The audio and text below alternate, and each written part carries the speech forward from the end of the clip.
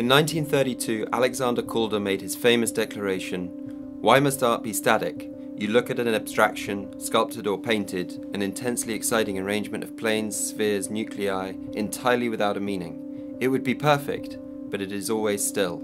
For five decades following, Calder reinvented the limits of abstract art and changed the possibilities of what sculpture could achieve.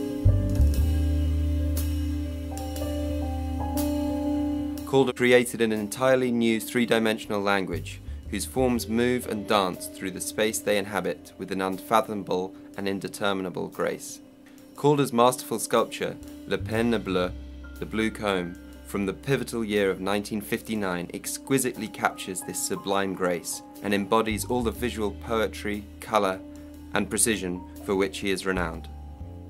Exhibited at the Fondation Maeght in 1969 and residing in the illustrious private collection of Marcia Riklis for the past 35 years, the blue comb epitomizes Calder's most serene mobiles.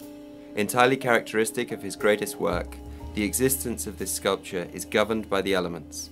The composition is a metallic ballet in perpetual flux, continually responding to every wisp of air and movement around it.